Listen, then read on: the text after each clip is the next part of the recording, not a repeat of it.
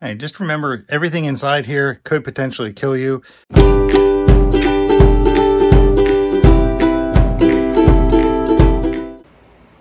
right, today we're gonna go ahead and we're gonna get it planned out because what we wanna end up doing is on this spot right here, I'm gonna put a UV filter for the well.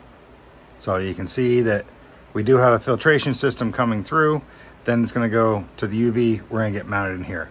But now we're just gonna figure out what we need. So this is what we currently have. You can see it comes in from the pressure tank that this has actually been changed out. All this is new since we moved in. But the only thing I haven't done yet is I left plenty of room so I could put that in. So, But I just got to get it planned out exactly what I need so that way I can hopefully only make one trip to the store.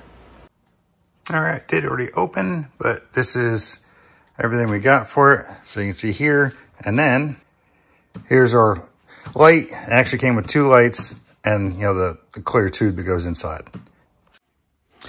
All right, here we are again today. So now we're gonna go ahead and start getting this installed. I do have most of the parts I need. I do not have everything yet, but the one thing I realize I really need is I need electrical power here for this. So what I'm going to do with this is it's going to have its own dedicated. So the power panel is actually just right off the camera here. So we're going to go ahead and run a line new from there to here. So it's all GFCI. And I have a light outside here by the pump that's going to need power also. So it's going to be taking care of both. And you see what I mean? This is where I'm going to need the power from. And right there's my panel. So it's going to be an easy up over to here. And then from here, I need to come over and actually power this switch for the lights that are out in the pump room.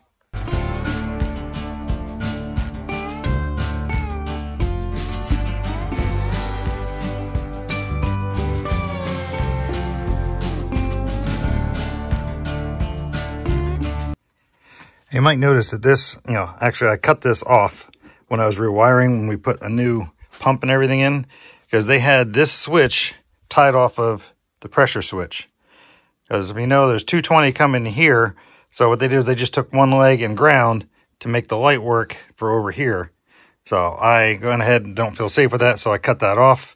And now we're going to actually tie this in with that receptacle. This all wired back up. I end up not using a new piece of wire. I have another piece from a different project that's going to be long enough to reach. All right, so here you can see a little bit easier.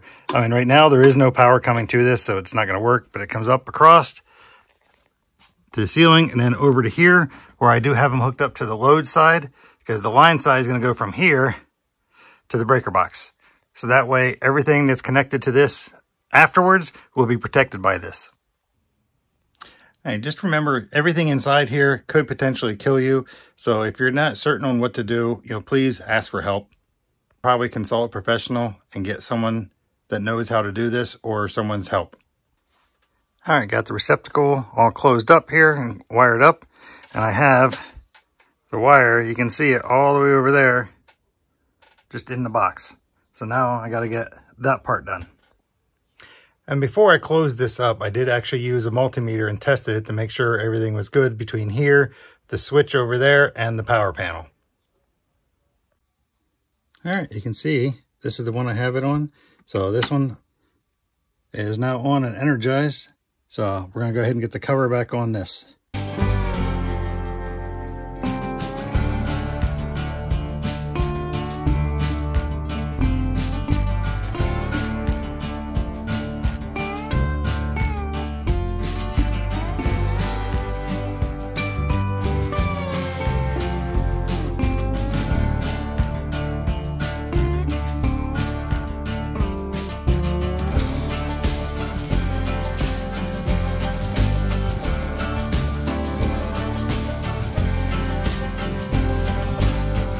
All right, we just got the cover on. So now we're gonna come over here, turn the switch.